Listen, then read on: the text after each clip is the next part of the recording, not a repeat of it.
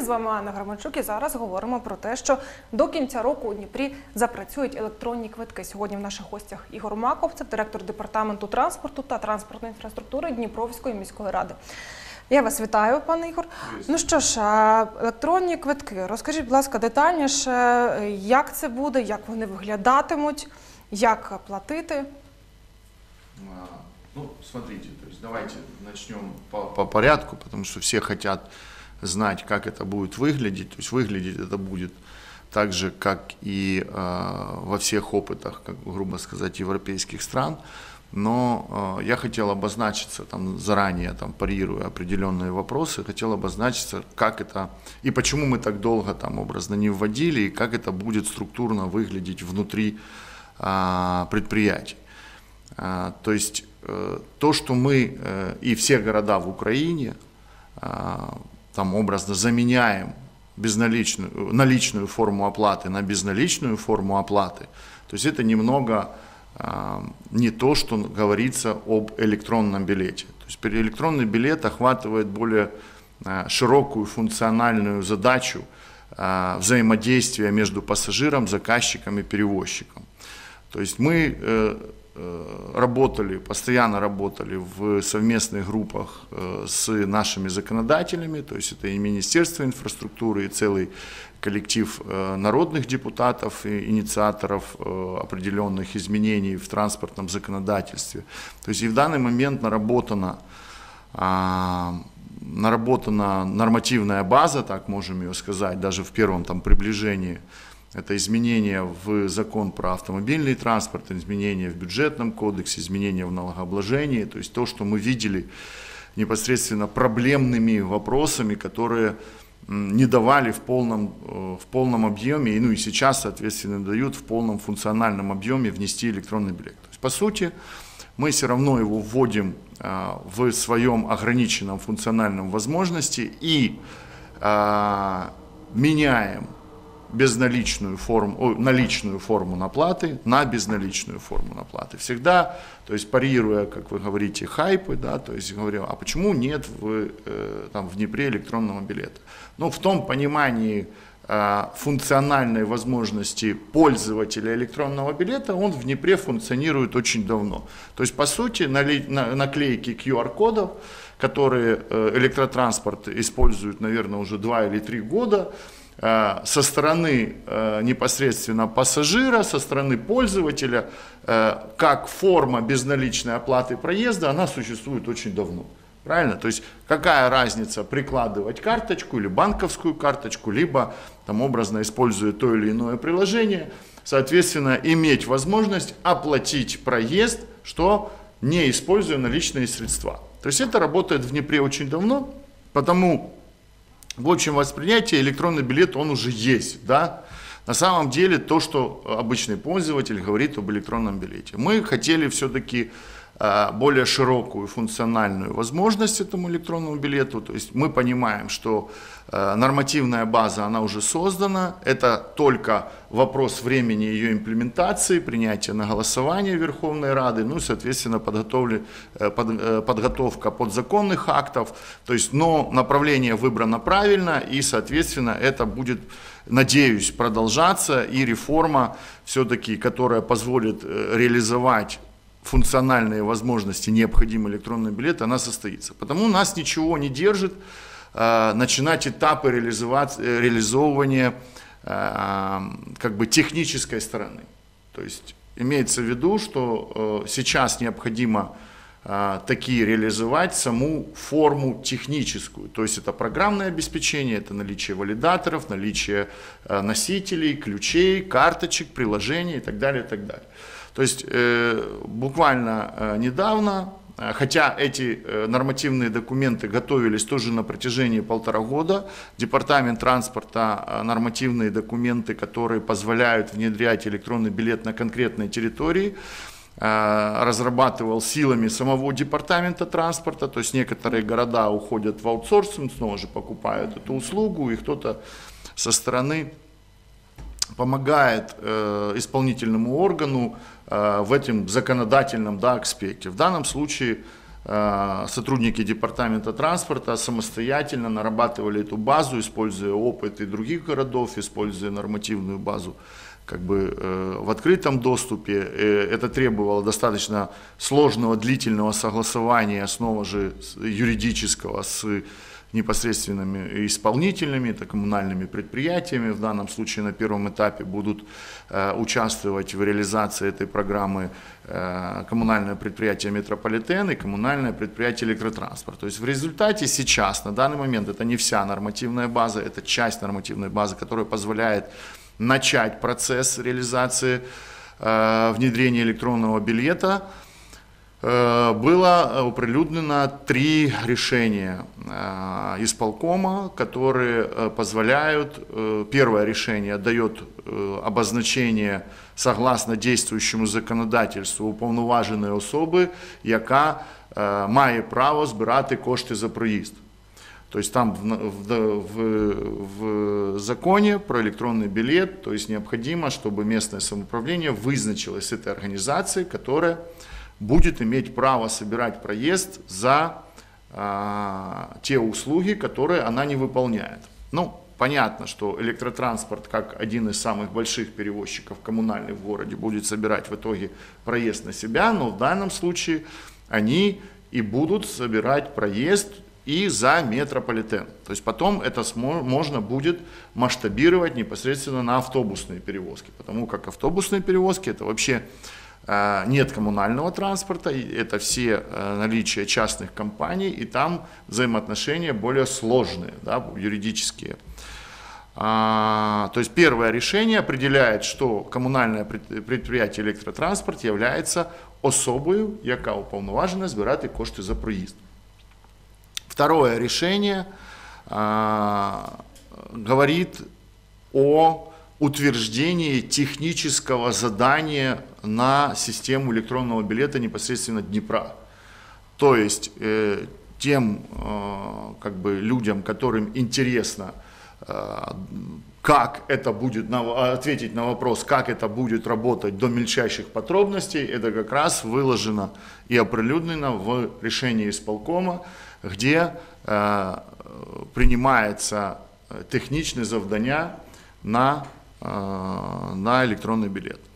И третье решение, то, что необходимо, это э, правило, это в первом этапе, то есть правило э, взаимодействия между снова же перевозчиком, пассажиром и заказчиком, в данном случае городом, ну, исполнительный орган, который в данном случае реализует политику города, это департаментом транспорта. То есть департамент транспорта является заказчиком всех общественных перевозок, общественного транспорта в городе Днепр.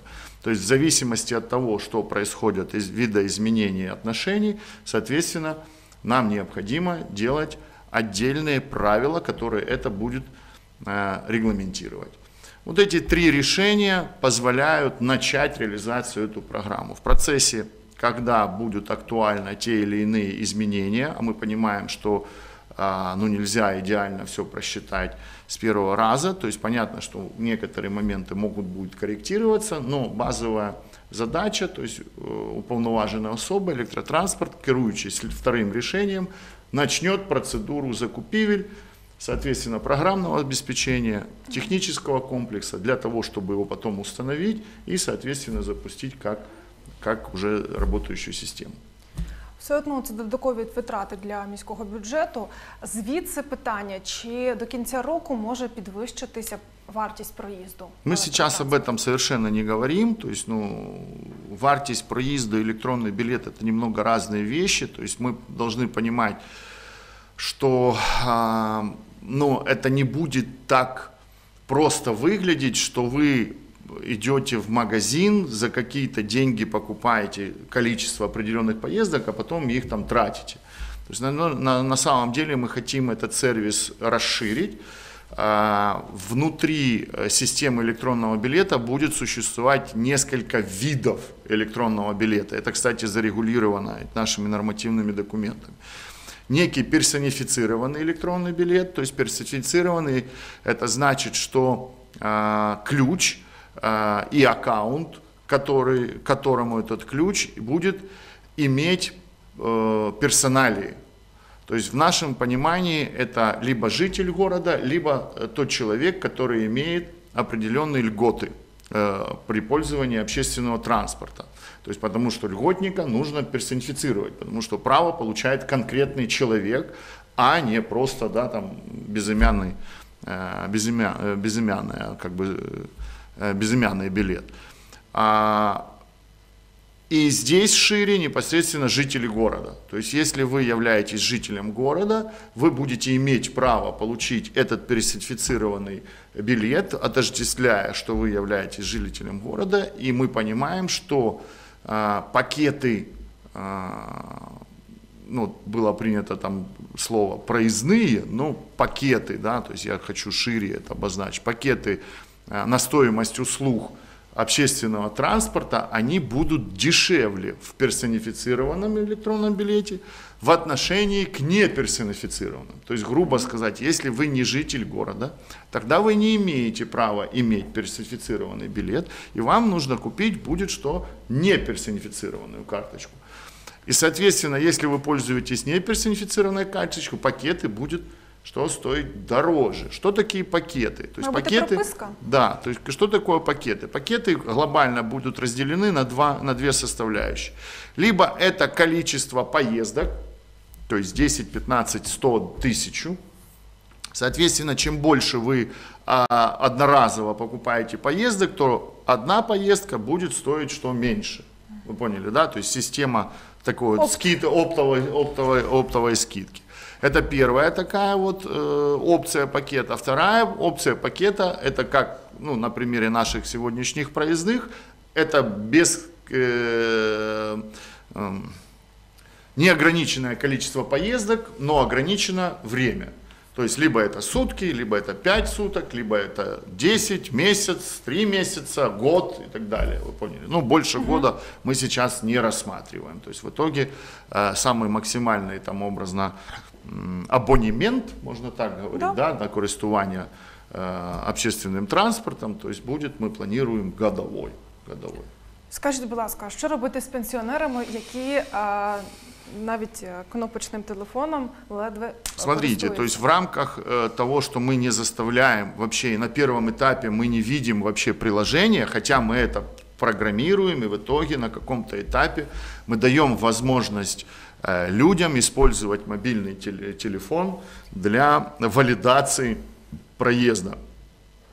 Сейчас еще ведется дискуссия о э, в итоге наличие QR-кода, то есть, ну, он как бы там прописан, но нужно ли, ну, насколько он будет технически э, надежно работать, но у пенсионеров, ну не как пенсионеров, у льготных категорий людей, которые мы понимаем, что э, самое большое количество это там 60 плюс, да, там будем говорить. Э, на самом деле их не так уже много, которые не имеют мобильных телефонов, это первое. А второе, да, это сложность как бы коммуникации и сложность обучаемости. То есть, э, вернувшись в карточку жителя, то есть у этого человека он ее получит бесплатно, насколько я сейчас понимаю, у этого человека будет безлимитный проезд, но он при этом должен быть персонифицирован. То есть задача льготника просто при входе прислонить карточку и свалидировать. То есть финансирование, ну, там не будет, то есть там не будет каких-либо финансовых операций именно в этой, в этой карточке. Э, в первом этапе, понимая, что достаточно э, сложно раздать, а мы имеем опыт раздачи, карточек населению э, в ковидные времена. В одно, в одно определенное время департамент транспорта раздал больше 350 тысяч так называемых билетов, да, а вот. И мы понимаем, что это не так быстро и не так, э, не так легко, потому в определенный момент, понятно, будет гибридная форма, а, соответственно, льготник будет иметь право и как и свалидировать проезд, ну и останется право предоставления удостоверения, как это работает сейчас. Потом, когда уже критическая масса, то есть большое количество людей будут на руках, а мы это статистикой будем обслеживать, иметь такие э, электронные билеты, электронные эти карточки, ну, соответственно, право уже там образно с э, с предъявлением удостоверения будет нивелировано, оно будет не актуально. Вот и все. Скажіть, будь ласка, таку модель а, так працівники департаменту індивідуально для Дніпра розробляли, або Да. ж все ж модель поцупили з якоїсь Ніде ми її не європейського міста? поцупили, е, ніде ми не поцупили. То есть на самом деле там не так много разных моделей, то есть глобально, э, если вот так сказать, это будет аккаунт-based, то есть есть две модели, либо card-based, либо аккаунт-based. То есть мы считаем, что более современные, более, более удобные э, сервисы можно реализовать при использовании аккаунт-based модели. То есть э, сама карточка является ключом к системе. А вся информация будет находиться э, в системе, в облаке, то есть э, защищена, и, соответственно, ресурсы, которые позволяет система интернет, можно будет реализовать.